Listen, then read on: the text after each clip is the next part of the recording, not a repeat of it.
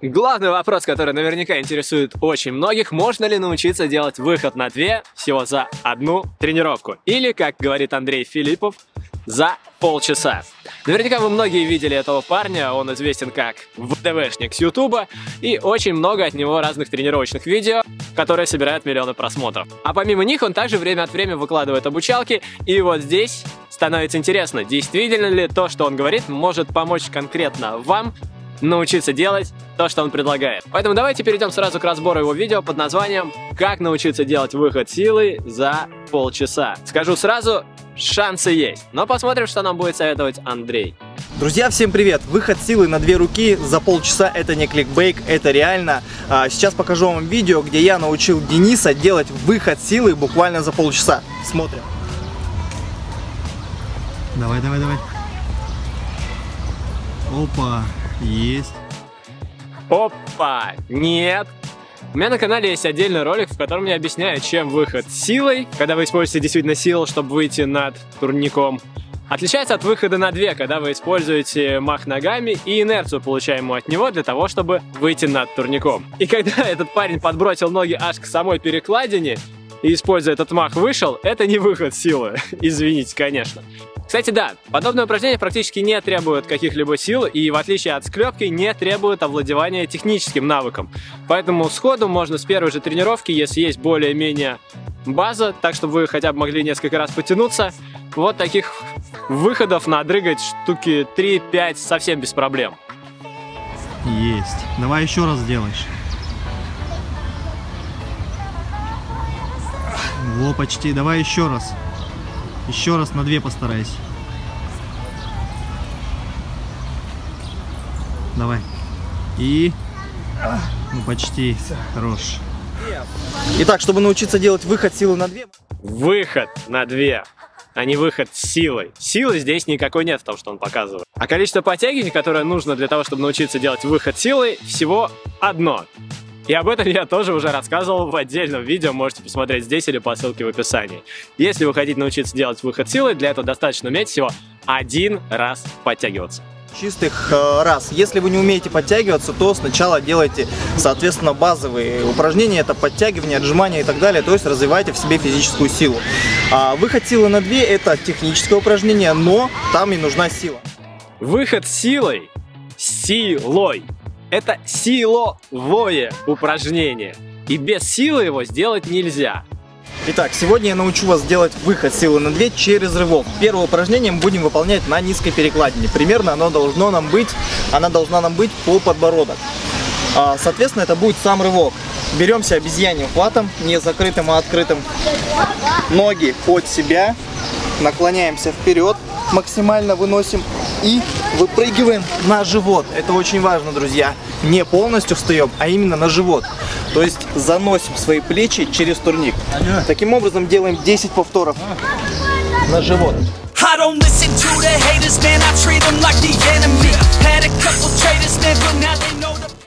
Во-первых, при изучении выхода силы я никогда не рекомендую вам использовать обезьяний хват, если вы не хотите рано или поздно удариться, скажем так, подбородком от турник, потому что рука у вас соскользнет.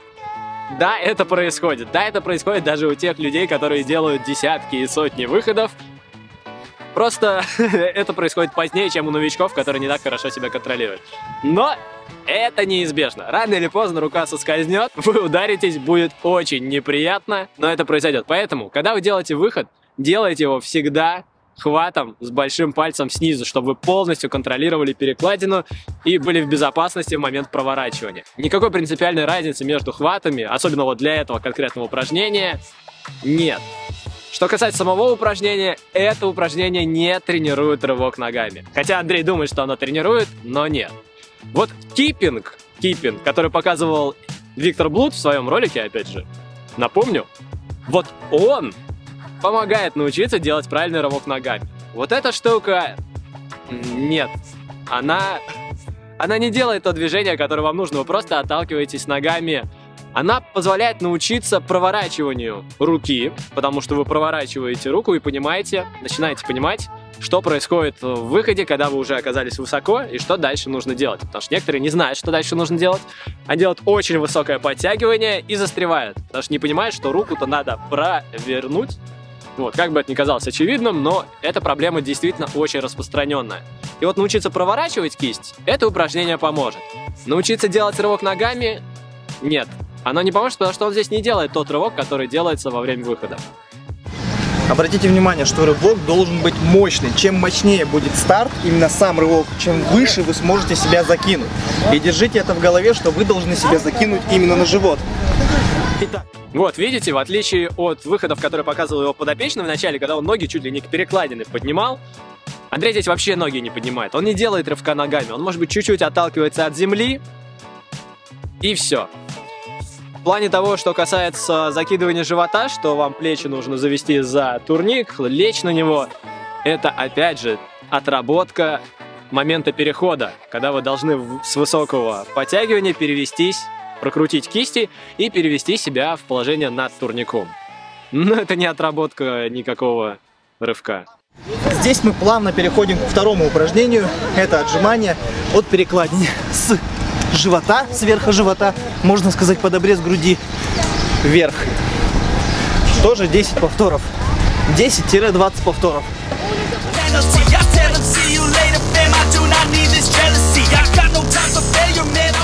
После... Я не знаю, кто и когда вообще сказал, что это упражнение нужно делать для того, чтобы научиться выходам, но суть в том, что оно никак вам не помогает. И дело в том, что когда вы лежите животом на турник, то отжать себя наверх по сложности это примерно то же самое, что сделать несколько отжиманий от пола. Даже не на брусьях, даже не на брусьях, а от пола, потому что вы лежите, понимаете? Вы лежите на турнике. Если вы себя уже туда закинули, вы лежите животом на перекладине, то отжать себя наверх это очень простой момент. Тренировать его дополнительно нет вообще никакого смысла. Но можете еще в планке постоять, тоже -то как бы пресс же работает, да, и на выходах пресс работает. Поэтому, наверное, для выходов будет полезно. Нет, нет, это пустая трата времени просто. Это упражнение вообще не нужно. И те, кто его показывает, я сразу, для меня это знак, что человек не особо разбирается в биомеханике, в том, как работают мышцы, и то, что он научился делать выходы и кому-то помог, это вовсе не значит, что он делал это эффективным образом.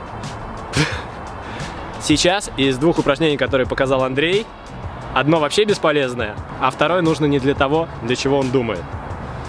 Ох, и у него миллионы просмотров. Люди смотрят это и учатся по этим обучалкам, хотя это очень плохие обучалки.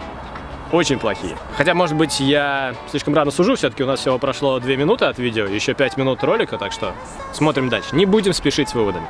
Мы сделали эти два упражнения, мы их соединяем в одно. рывок и выталкивание. Видите? Даже сейчас, когда он соединяет эти два упражнения, он соединяет не эти два упражнения. После рывка он полностью ложится и уже из положения лежа животом на турнике он себя выжимает. А это намного легче, намного. Не говоря уже о том, что он опять использует открытый хват, чем наверняка помог нескольким ребятам навернуться, это точно. И он опять использует толчок ногами, то есть он не тренирует вот этот рывок. Чтобы сделать рывок, чтобы сделать этот вот кипинг ногами, который вам поможет легко освоить выход на две, нужно сделать другое упражнение. Посмотрите видео с разбором Виктора Блуда, вот там показывается, что нужно делать, крайне эффективно, вы сразу поймете, сразу научитесь, как делать рывок ногами, и у вас сразу получится сделать выход на две. Таким образом делаем 10 повторов.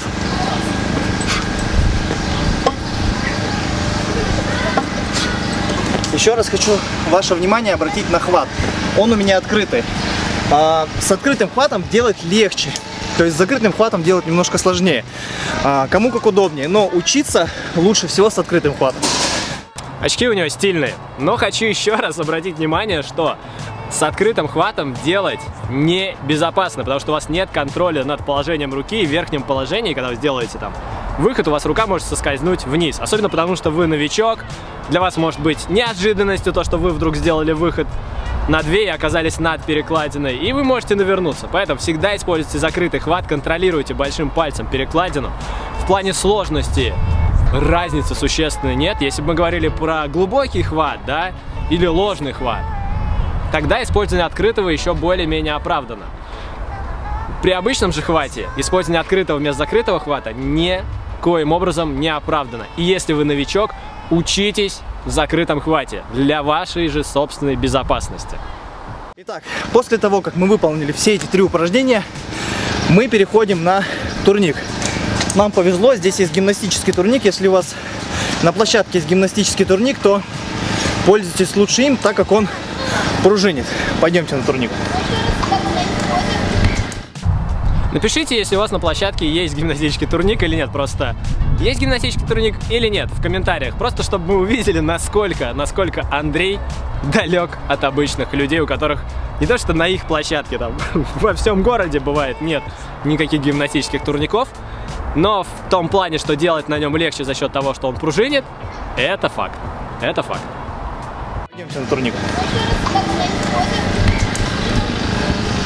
И теперь непосредственно мы переходим к выполнению самого выхода на две.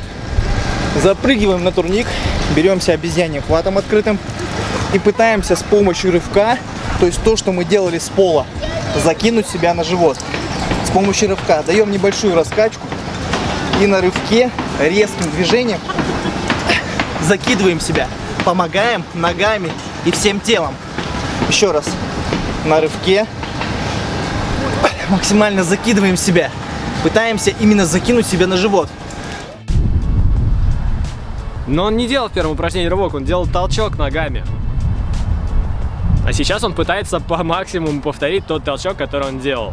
И это на самом деле гораздо сложнее, чем научиться делать киппинг ногами, про который говорит Виктор Блуд в видео, про которое я уже несколько раз сегодня рассказывал. Вот там посмотрите обязательно этот ролик, посмотрите, как делается киппинг. Это гораздо проще, это гораздо понятнее, и это гораздо быстрее поможет вам освоить выход силы и выход на две сначала, чем вот этот вот рывок ногами, толчок ногами, про который говорит Андрей. Какие ошибки здесь могут возникнуть? Первая ошибка. То, что вы пытаетесь сместить центр тяжести туда. Это неправильно. Таким образом, выход силы станет практически невозможным. Он будет очень тяжелым. Когда мы делаем выход силы, центр тяжести мы ведем за собой.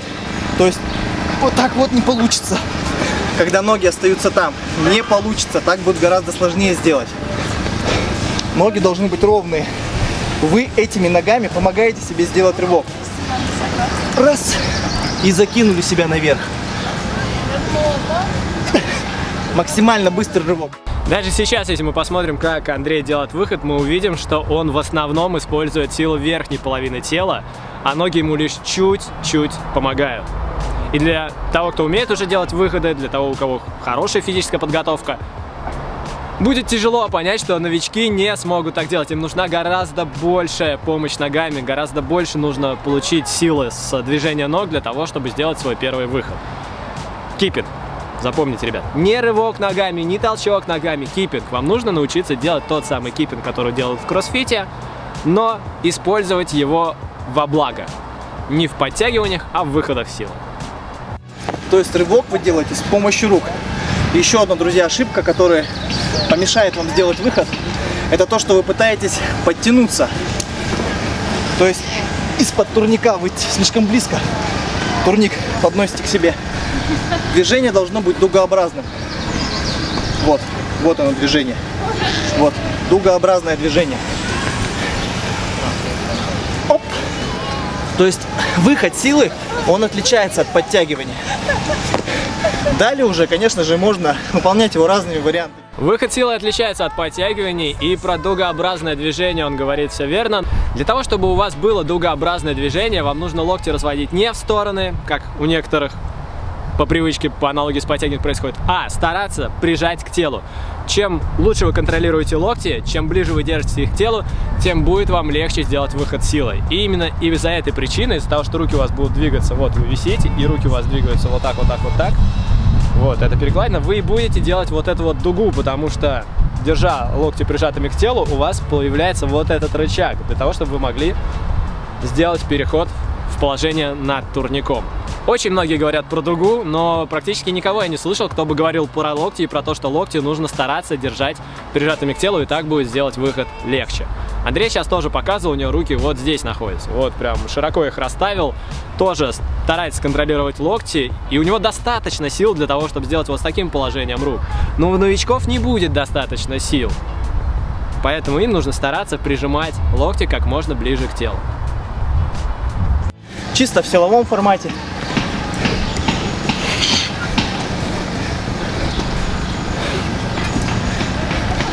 Выход силы склепка.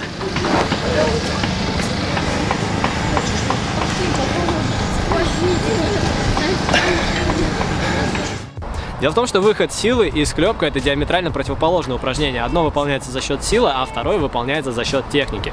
В склепке сила вообще не нужна, разве что за исключением вот вам нужен э, сила хват для того, чтобы держаться за перекладину. Больше ни для чего вам сила не нужна. Все остальное делать исключительно на технике за счет перехода потенциальной энергии в кинетическую, кинетическая обратно в потенциальную. Понимаете? Это простая физика. Но это разные упражнения, нет никакого выхода силы из клепки. Это разные вещи, разные. Не надо, не надо такую чушь говорить, пожалуйста. Выход силы на прямых и так далее. Нет выхода силой на прямых. Это разновидность склепки. Это склепка на прямых руках. И делать она технически. Если бы кто-то попробовал сделать выход силой на прямых руках, ему бы потребовалось очень большое количество сил, потому что был бы очень большой рычаг. Чем больше рычаг, тем больше требуется силы. Это школьный курс физики. Почему я сейчас пересказываю вещи, которые должен любой шестиклассник знать. И там потребуется такое большое количество сил, что на данный момент никто в мире не делает выхода силой на прямых руках. Вот такие вот дела. Представляете? Упражнение, особенно если делать его технически правильно. Выполняя все эти упражнения и имея хотя бы небольшую базовую подготовку физическую, это 10 там подтягиваний чистых, обязательно чистых, там, не знаю, 20 отжиманий, то есть обычную базовую подготовку. Потому что я видел ребят как худых очень, которые а, имеют там совершенно небольшую физическую подготовку, небольшую физуху. И ребят мощных, которые реально подтягиваются по тридцатке, но не умеют делать чистый выход силы. Все дело в нашей голове. Все дело в том, что люди, которые даже могут 30 раз подтягиваться, они могут не знать, что происходит во время выхода, вот эти моменты с проворачиванием кисти, про которые Андрей, например, ничего не сказал. И поэтому они не могут просто себя перекинуть через турник. Поэтому им его видео особо-то и не поможет ничем на самом деле. Что касается уровня подготовки, для того, чтобы сделать выход на две, как я уже сказал, много сил не требуется. Там действительно, если 5-10 раз подтягиваетесь и более-менее там отжимаетесь, 10-20 раз, да, действительно, как он сказал, то этих сил, в принципе, уже будет достаточно для того, чтобы научиться, начать учиться делать киппинг ногами и делать выход на две. Для того, чтобы выход силой сделать, сил потребуется гораздо больше. Когда мы забираемся вверх, сверху вниз его сделать проще. То есть мы резким движением опускаем себе вниз, как струнка, и сразу же выходим. Так сделать легче. Просто попробуйте, закиньте себя вверх и резко опускаясь вниз, сразу же делайте рывок. То есть вам необходимо отработать этот рывок. Как только получится у вас один раз сделать криво, косо, потихоньку нарабатывайте, нарабатывайте, нарабатывайте. И буквально за неделю вы уже будете делать чистый выход. Но не забывайте, самое главное это практика это тренировки. Выходите и делаете. По сути, ничего сложного нет. Три упражнения. Всем спасибо за просмотр. С вами был я, Андрей Филиппов, Движение Гориллас. Увидимся. Всем до скорого. Так, вот такой вот ролик. Что касается его последнего лайфхака совета, то да, действительно, если вы сначала заберетесь с помощью, например, подъема переворотом наверх, затем сбросите себя вниз, и затем снова начнете делать выход, то будет делать его легче. Почему? Потому что в верхней точке у вас уже есть потенциальная энергия, которой достаточно для того, чтобы сделать выход силой, выход на две в том числе. Затем вы падаете вниз, превращаете потенциальную энергию в кинетическую, и затем у вас уже есть достаточное количество энергии, которого хватит, чтобы вас закинуть обратно на турник. Когда вы только учитесь, то Не всегда вы сможете ногами сразу давать себе научиться достаточное количество энергии, чтобы его хватало, чтобы вы оказались над перекладиной. Но когда вы уже над перекладиной, в вас уже заложено достаточное количество энергии, чтобы туда вернуться, добавить чуть-чуть немножко своих сил, да, там сила трения, все дела, и вы сможете вернуться обратно. Поэтому, да, работает, новичкам... Я не уверен просто, что новички поймут, э, что именно нужно делать обратно, но может помочь. Попробовать можно и посмотреть на то, поможет ли это вам. Что касается итогов, давайте подведем итоги этого ролика, пока опять солнце не вышло и не начало мне мешать. Он назывался «Как научиться делать выход силой за полчаса». Нет, выход силой за полчаса научиться невозможно делать, если только у вас уже нет всей той силы, которую необходимо использовать. И если вот она у вас есть, если вы там хорошо подтягиваетесь много или подтягиваетесь с большим дополнительным весом, и вы просто не понимаете технику, можно научиться. За полчаса понять технику реально. Если у вас нет сил, вы новичок, только посмотрели видосик Андрея Филиппова, решили научиться делать так же, пришли на площадку в первый раз, то, конечно же, нет, ни о каком выходе силой говорить нельзя. А вот выход на две, да, Выход на две научиться можно буквально за несколько тренировок. Если это ваша не самая первая тренировка, то за полчаса выход на две освоить можно. И его подопечный как раз именно это и освоил. Просто сильнее помогать себе ногами, будет легче делать руками, и у вас все получится. Такой вот разбор Андрея на сегодня. Люблю рассказывать про выходы. Если вы хотите, чтобы подобные разборы выходили чаще, то становитесь спонсором нашего канала на сайте Boosty. У нас уже есть 20 спонсоров, и благодаря им я могу отдавать часть роликов ежемесячно на сторонний монтаж. Соответственно, у меня становится больше времени на то, чтобы искать в интернете видео для обзора, отсматривать их, делать обзоры, искать статьи, подтверждающие мою точку зрения, когда это необходимо, когда нужно конкретные исследования изучать. Все это занимает очень много времени, и я смогу на этом сфокусироваться, если монтировать буду не я, потому что монтаж ролика, честно говоря, занимает гораздо больше времени, чем непосредственно его съемка, и иногда даже, чем его подготовка. Поэтому, как только я наберу в ежемесячной спонсорской поддержке 40 тысяч рублей, этой суммы хватит на то, чтобы отдать вообще все ролики на монтаж, а я смогу сфокусироваться непосредственно на контенте. А затем будем продолжать увеличить количество спонсоров. Я смогу уже нанимать оператора, который будет меня снимать. Сам снимать будет, сам монтировать. У нас появится больше ракурсов, больше всяких интересных вставок будет, куча всего нового. Прикольного будет добавляться. И это следующий шаг.